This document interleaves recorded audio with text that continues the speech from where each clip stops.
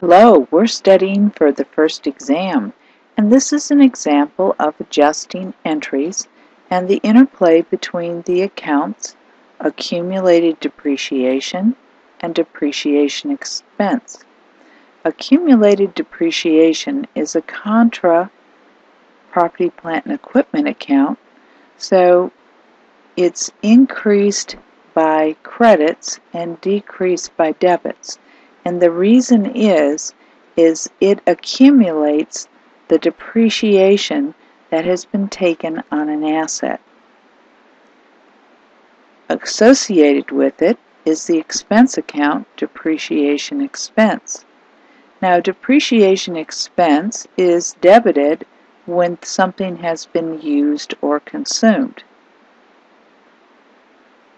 In other words, we're taking a bit of the cost of the asset, uh, the property, plant, and equipment, and we're matching that piece of the cost, its usage, with the revenue that was generated because you use that property, plant, equipment. So accumulated depreciation is where we have all past and current usage uh, where we accumulated or, or added up or collected together. And that's why the adjusting entry is always debit DE depreciation expense and credit accumulated depreciation. But it's a bit more confusing than this, than having just the adjusting journal entry here, because it tells us that our accumulated depreciation account at the beginning of the year was a hundred thousand. Let me move this down a bit. Beginning balance, a hundred thousand. And the ending balance for the year was 122.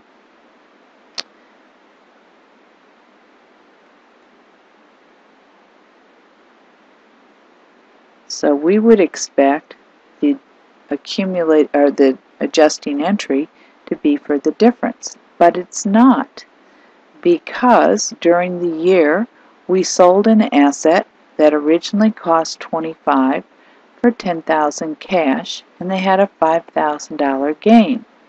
And whenever we sell an asset, we have to get rid of sold assets accumulated depreciation. So the first thing we have to do in this problem is to figure out how much of that asset that we sold had depreciation on it.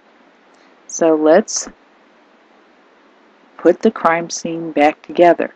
So during the year we had sold an asset with an original cost, so our um, property, plant, equipment, was reduced by 25,000 and we sold it for cash of 10,000 and we had a gain which means we credited gain for 5,000 well if that's the case I know that I'm going to have a debit to accumulated depreciation for the difference so right now I have credits that come to 30,000, debits that come to 10,000.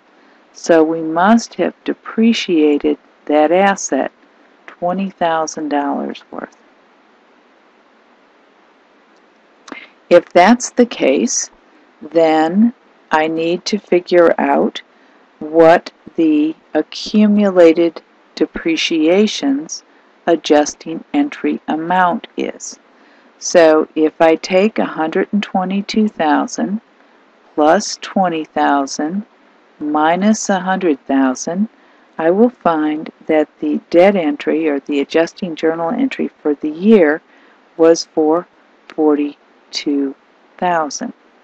So during the year we debited depreciation, or at the end of the year we debited depreciation expense, credited accumulated depreciation, for $42,000, which recognized the usage of our existing property, plant, and equipment this year to match that usage against the revenue it generated.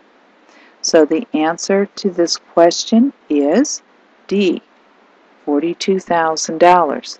But notice I had to figure out the sale entry first and how that sale entry impacted accumulated depreciation.